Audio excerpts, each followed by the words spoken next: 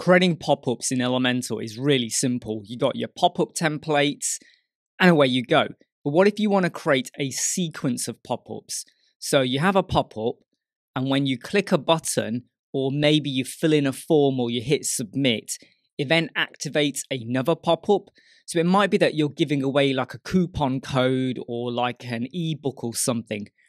But they can't have that until they have filled in their details we can create a sequence of pop-ups. We're going to do that right now. It's really, really simple. So we're inside WordPress. We're going to go over to templates and you do have the option to go with pop-ups. But if you haven't, if you don't click pop-ups and you go actually into your template area, it doesn't matter. You just hit add new and we're going to pick over here pop-up. Now I'm going to call this one um, pop01. Um, you would have proper names for your pop-ups and i'm not even going to build a pop-up. I'm just going to use a template just to speed up the process of this video. So let's just create template.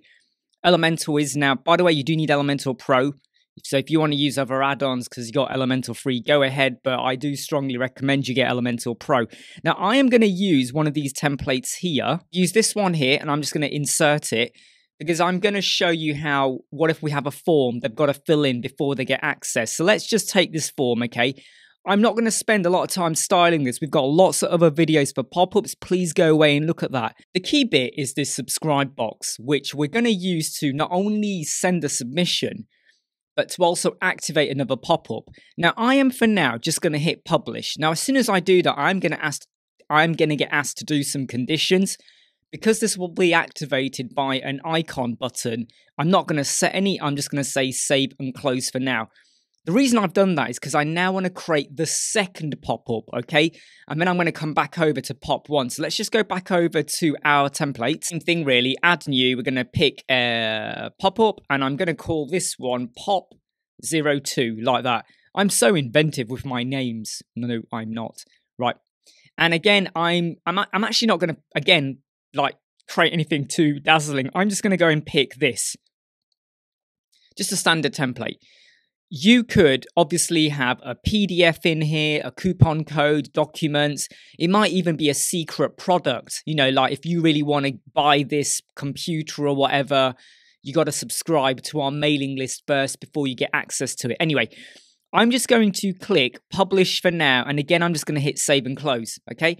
I'm not setting any conditions, but I'm just saving and closing this. I'm now going to go back over to my first pop-up. I'm going to refresh the page because I want to make sure that pop-up number two is now in the system. I mean, it will be in the system. It's not like it's disappeared anywhere. Let's go over to the pop-up for or the subscribe bit of the form. Go to where it says action after submit. Click the plus sign. Scroll down until you get to pop-up. Now, when you pick that, this option now becomes visible. It's invisible until you do that. Let's click the pop-up and we are going to say open pop-up like that. And I'm now going to type into here pop02. There it is. Let's pick it. That is now set up to do that. But there is a few things I would recommend you do. If you click on the cog down here, which is the settings, right? These are the settings for your pop-up, not the page, it's for your pop-up. If you go over to advanced over here, you do have an option that says avoid multiple pop-ups. Please do enable that, okay? Because if you don't enable that, there is a chance that pop-up 1 is still going to be behind or next to pop-up 2. This is a fake page, by the way, okay? And some people often say to me, what do you mean by fake page? Well, it's just what I use for tutorials, all right? It's not a real website. I've got a button over here, per activate, I'm going to go over to the button settings. Rather than adding in a link, click on the dynamic tags, scroll down until you get to pop up, uh, click the spanner or the wrench, and then what we're going to say is open pop up, and we are now going to pick pop 01. Pop 01, there it is. And then we just hit update. I click this button now, it should open up the pop up. Right? Look, that's exactly what it's done.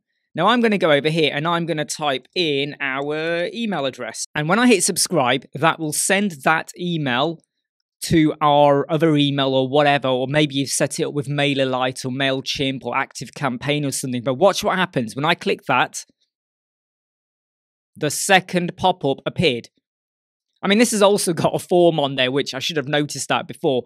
However, you could have further content on here now. I mean, you could even, if you really want, after they then fill in some further details, open up another pop up. I wouldn't do that.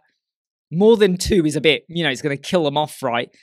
But this is a sequence, a really simple, easy way of doing a sequence of pop ups using the action after submit feature command facility, whatever you want to call it. Look, when you do click the cross, you're back there. You don't have to close down pop up 2 and pop up 1 because pop up 2, the minute that appears, it stop it kind of removes pop up 1. Remember? Don't let multiple pop ups be visible on your screen or open. I hope that helps. I hope you like, subscribe, share, and follow. I'll see you soon. Never break, always fight, never quit, do it right, play the game, win life, have no shame, there's no time, feel the pain, the grind, I could change, in my mind, pick a lane, commit and climb, the only way to win at life I never miss, that fact. Taking big swings, bitch, hand me the bat. Put me in the ring.